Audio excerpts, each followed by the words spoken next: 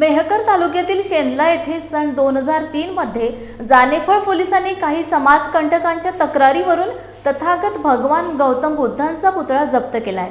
सदर प्रकरण हे मेहकर न्यायालयामध्ये निकाली लागून न्यायालयाने या प्रकरणात दोषींना निर्दोष मुक्त केले आहे. तसेच गावातील ग्रामपंचायत मध्ये सर्व गावकऱ्यांच्या वतीने मासिक सभा घेऊन एकमताने ठराव पारित केला की सदरचा पुतळा हा अर्जदारांच्या ताब्यात देण्यात यावा. याकरिता आज जिल्हाधिकारी व जिल्हा पोलीस अधीक्षक यांना निवेदनाद्वारे जानेफळ पोलीस स्टेशन ताब्यात असलेली बुद्धमूर्ती ही देण्यात यावी. याकरिता निवेदनाद्वारे ही मागणी करण्यात आली आहे.